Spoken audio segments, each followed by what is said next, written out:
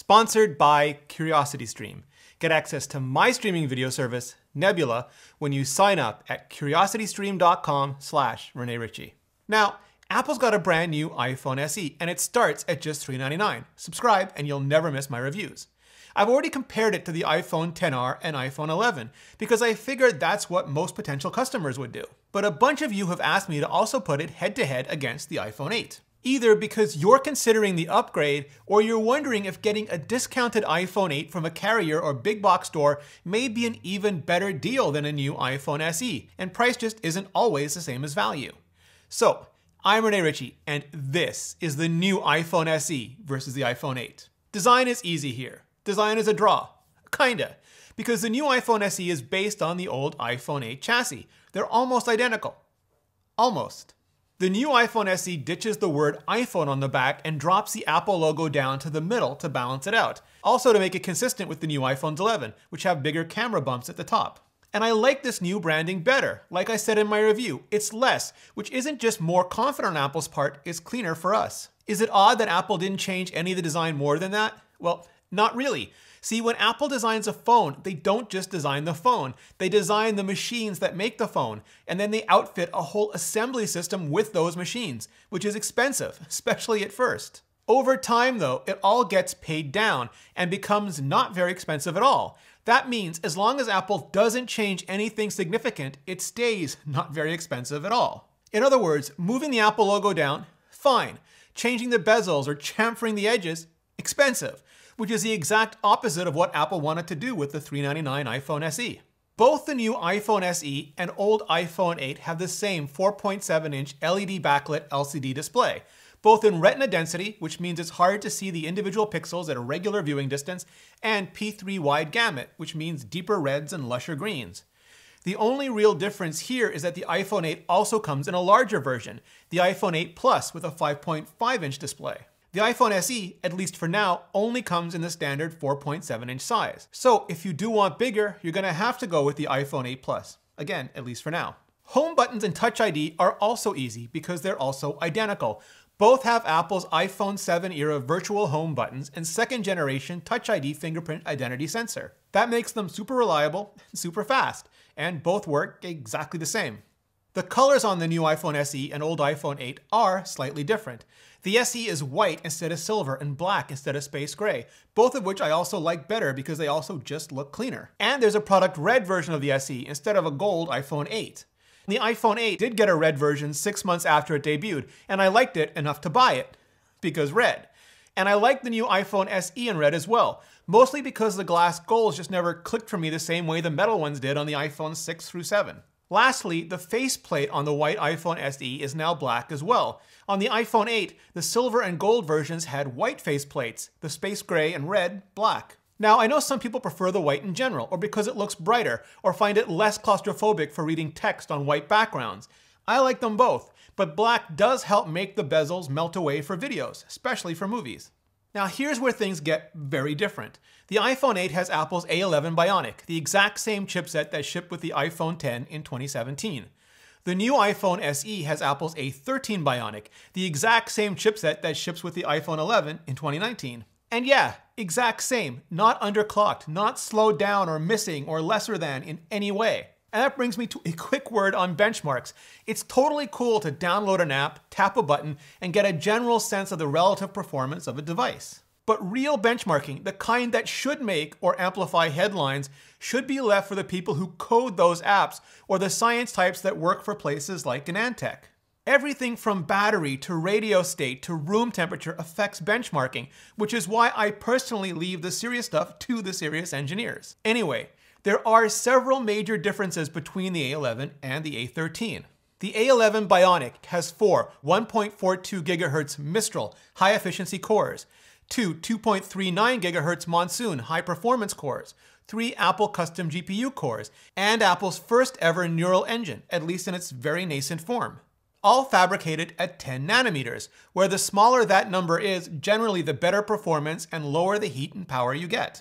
The A13 Bionic has four 1.73 GHz Thunder high-efficiency cores, two 2.65 GHz Lightning high-performance cores, with machine learning accelerators called AMX blocks on those two cores.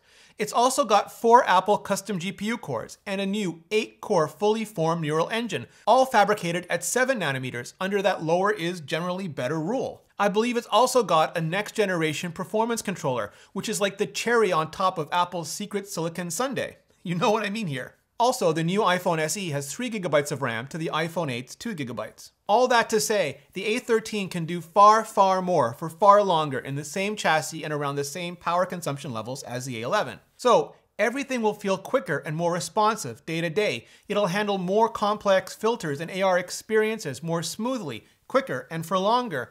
But it'll also handle app and operating system updates for three to five years longer. Which means if you have or get an iPhone 8 today, you're looking at updates until about 2021 or 2022, just like the 2015 iPhone 6s was updated to iOS 13 in 2019. If you get a new iPhone SE today, you're looking at updates until about 2024 or 2025, and the longer out that goes, the bigger the difference makes. Because the A13 Bionic in the new iPhone SE is 7 nanometers instead of 10 nanometers and generally more advanced, even though it's faster and has more cores, it's also more efficient, which means average battery life ends up being about the same as the iPhone 8. According to Apple, the iPhone SE will tap out after about 13 hours of video playback, same as the iPhone 8. It can just flex way, way harder when it needs to during that time. To show the other end of the extreme, I ran both the new iPhone SE and iPhone 8 on Pokemon Go, which is GPS and data and graphics and max brightness, pretty much everything that can kill a battery as fast as possible. And they were neck and neck the entire time, every hour, on the hour, dropping down to the same exact percentages. And so, yeah, total draw, but again, with one having far greater potential performance than the other. Also, both coming with the same USB-A 5 watt charger in the box, which is so 2014. But they can also both use the more powerful USB-A chargers if you want to buy them. The iPhone SE is also optimized for much faster charging on the 18 watt USB-C charger. Again, if you want to buy it. And they both support inductive charging on standard Qi compliant inductive chargers. Where the iPhone 8 supported LTE Advanced, the new iPhone SE supports gigabit LTE. That's also single SIM on the iPhone 8 and dual SIM, one physical, one eSIM on the new iPhone SE. Where the iPhone 8 supported 802.11ac, or what even is that, Wi-Fi 5? The iPhone SE supports 802.11ax, or Wi-Fi 6. Where the iPhone 8 supported Bluetooth 5, the iPhone SE supports also Bluetooth 5, but you get the idea. If you move between multiple carriers, dual SIM is a real benefit. The rest depends on which carriers and what kind of router you have, whether you'll see any real world improvements or not, but the potential is there. In terms of hardware, the new iPhone SE and iPhone 8 cameras are identical. Same 12 megapixel f1.8 optically stabilized 4K 60 frames per second wide angle on the back, same 7 megapixel f2.2 1080p 30 frames per second selfie on the front. Except, except, the old iPhone 8 has the A11 image signal processor to handle those photos, and the new iPhone SE has the A13 image signal processor to handle these photos. And yeah, oh my, George Takei style, what a difference those two generations of silicon make. The end result is that the iPhone SE just shoots circles around the iPhone 8. It shoots better than the iPhone XR in most situations as well, falling roughly equal only in low light. I even like some of what it does better than the Pixel 4, which is consistently cooler and contrastier, as is Google's want. That's thanks to things like second generation Smart HDR, which stacks multiple exposures and uses things like semantic rendering to pull out the best image possible. It also ties in those improvements and the neural engine. So, unlike the iPhone 8, the iPhone SE does full-on portrait mode, including all portrait lighting effects, front and back. Now, you can get portrait mode on the iPhone 8 Plus thanks to its dual camera system, but at a slightly higher price and bigger screen size. The iPhone SE can also do extended dynamic range on video up to 4K 30 frames per second, which is the same as the iPhone XR. If all you care about is the gram or the talk, you may not see a big difference. But if you want the best possible photos of your family, your pets, your life, preserved for future you, you're always going to want the best photos and video you can get and that's most definitely the new iPhone SE. Pricing on the iPhone SE is stone stump simple. It's 399 US for 64 gigabytes, just $50 more for 128 gigabytes, and $100 more than that for 256 gigabytes. Apple Care Plus is also just $79. That price can be more, much more internationally, which totally sucks, but is true of most of Apple's current product line. Pricing on the iPhone 8 depends a lot on where you're looking. You can find them secondhand on Gazelle or Amazon starting at around $300 for 64 gigabytes for excellent condition. You can get them cheaper through Craigslist or eBay if you're willing to put in some work and sometimes risk things like water damage you can't easily see. You can also find some really good deals from carriers in big boxes that are still selling out their existing stock, sometimes discounted. So I'll sum things up in just a hot second, but first, I want to tell you about my new podcast. You can grab the audio version in your favorite podcast player every week, but you can also watch the full on video versions when they come out, early even, on Nebula. Nebula is the streaming video platform I'm building alongside other independent creators like Legal Eagle, Thomas Frank, Real Engineering, Sarah Z, Lindsay Ellis, and many, many more. And we're building it for things precisely like these podcast episodes, which I love to do, but which the YouTube algorithm would just utterly destroy and likely hurt the whole channel at the same time. On Nebula, though, we're free to experiment to do stuff exactly like this. And now, because Nebula comes bundled with CuriosityStream, you also get access to its thousands of documentaries and series by people like David Attenborough and Chris Hadfield, and which, wait for it, is right now offering an absolutely incredible deal. 40% off annual subscriptions and gift cards. And that makes it, yeah, just $11.99 for the entire year.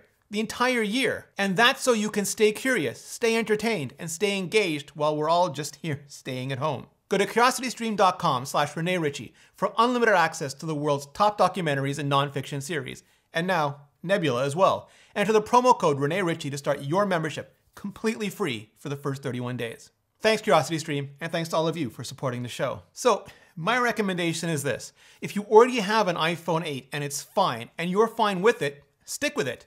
If you don't and you need to upgrade, go with the new iPhone SE because it's simply the better upgrade and you'll be able to stick with it for longer. There'll always be something new and something next, so buy when you absolutely need to buy and then enjoy the hell out of what you bought. At least that's what I think, but now I want to hear from you.